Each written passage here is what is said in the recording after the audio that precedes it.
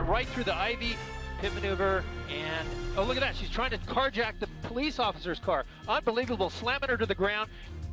Twists, turns, it was all touch and go tonight. Police chase and tackle a woman wanted for stealing a truck. Every close call was caught by News Chopper 4. NBC4's Kate Larsen live in Chatsworth where she talked to a woman who owned that stolen truck. Kate.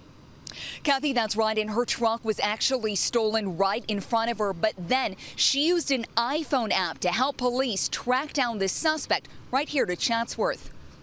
LA police pursuing a News Chopper 4 overhead as a carjacking suspect speeds down the 101 during our 6 o'clock news. I was in the house maybe, maybe 15, 20 seconds when I heard the car start. Meanwhile, Christy Adair, too shaken to show her face tonight, had just been carjacked in her own driveway in Sherman Oaks. And so I ran outside and I saw a woman backing my truck out of the driveway and I had a bag in my hand and I threw the bag at her and she put it in drive and drove towards me very fast and so I got out of the way. I just was screaming at her to stop. But she didn't. So Christy called 911 and used the Find My iPhone app to track her cell phone that she had left in her brand new truck, which was now flying down the freeway. We watched it on Channel 4. Oh, he's going to go right through the tree. Look at that, right through the ivy, all the way across, wrong side of the road. I had tears in my eyes and I was watching, just praying that she was not going to hurt anybody. Here, here we go pit maneuver. Then around 6:30, police stop the truck on Nordhoff Street in Chatsworth. Is that a woman? A woman gets out of the truck looking like she's about to surrender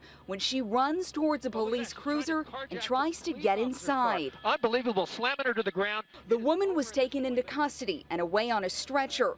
Later tonight, Christie showed up to the scene to get her truck back, surprised it made it so far on a quarter tank of gas. The car has get better gas mileage than I thought it would.